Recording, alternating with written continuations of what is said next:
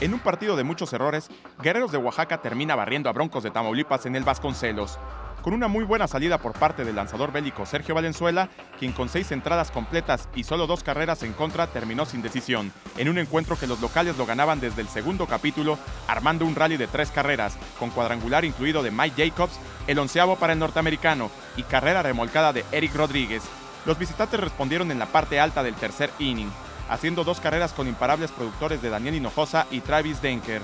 Las entradas transcurrieron sin daño para ambos bandos, hasta el octavo rollo, donde llegaron las pifias bélicas que ayudaron a Tamaulipas para darle vuelta a la pizarra. El pitcher relevista Jan Granado recibió dos carreras las cuales fueron sucias debido al error del parador en corto Luis Medina. Cuando parecía que los Broncos se llevarían el de la honra, respondieron los de la verde antequera. Torres conectó doblete y Rodríguez se puso en los senderos con base por bolas. Medina se sacrificó para avanzar a sus compañeros. Ya con las bases llenas, llegó el error del juego. José Luna, parador en corto de Tamaulipas, no pudo hacer la jugada a rolling de Giancarlo Angulo, anotando Torres y Garzón la carrera de la igualada y de la victoria respectivamente.